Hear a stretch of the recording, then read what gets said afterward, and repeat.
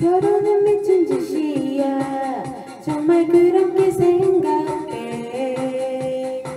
이 좋은 세상을 두고 서로 구속해 안달이야.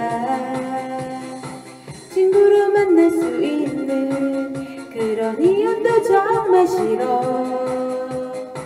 좋다가 싫어진다면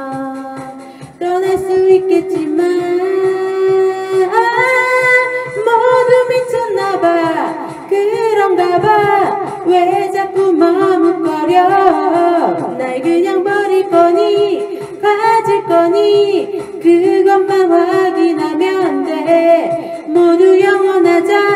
약속하지. 어이가 내 뺨을 때려. 날 그냥 내버려도 책임 못져더 이상 부담 주지 마